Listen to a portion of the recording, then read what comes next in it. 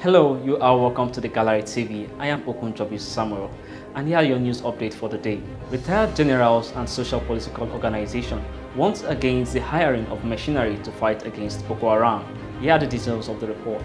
Some retired generals and social political organization on Wednesday faulted a call for hiring of machinery to fight the Boko Haram insurgents in the northeast.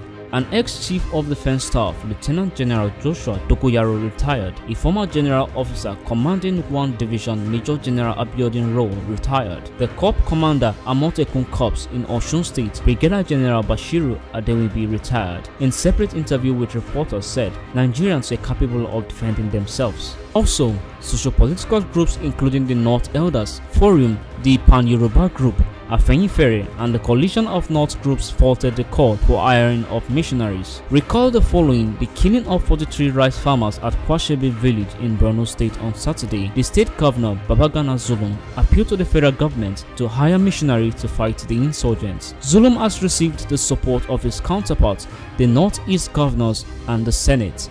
Before the president, Major General Muhammadu Buhari retired, assumption of office, the federal government hired missionaries to fight insurgents. The Buhari regime, however, dispensed with the service of the missionaries on assumption of office in 2015. But retired generals who spoke to reporters cautioned against the return of missionaries. And on the foreign scene, all protocols duly observed is wrong protocol. These were the words of Ambassador Soulay Daramy during the launch of his first book in Sierra Leone. Here are the reports. Let me stand on existing protocols. Ambassador Soulay Daramy has launched his book during the course of the week titled All Protocols Observed, a handbook on protocol practices and procedures in Freetown, Sierra Leone. The emphasis of this book highlights the relevance of protocol in interaction and not just government officials. Daramy during the launch explains the reason for the choice of topic.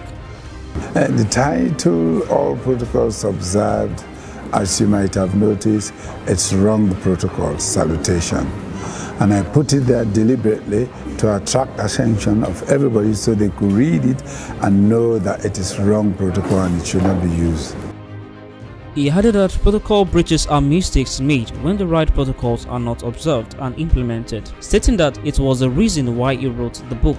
Professor J.A.D. Alie, who reviewed the book, has this to say. Rami has done is to give us a detailed account of what protocol is all about, you know, uh, and it's a very complex but interesting area of study, uh, which I think is very useful for our students, particularly those in political science, in uh, diplomatic history, and even for practicing uh, senior civil servants who on a daily basis are engaged in the business of protocol.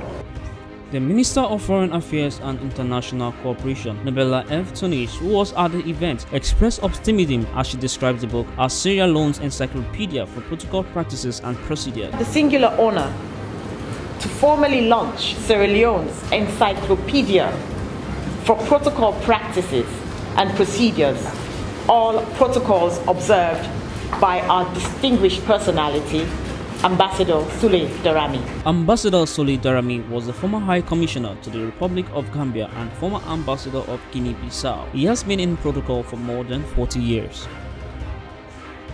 And that's the most you can take on the news for today. Once again, I am Okunjobi Samuel. For more information, you can join us on Instagram, Facebook, and Twitter at The Gallery TV. Bye for now.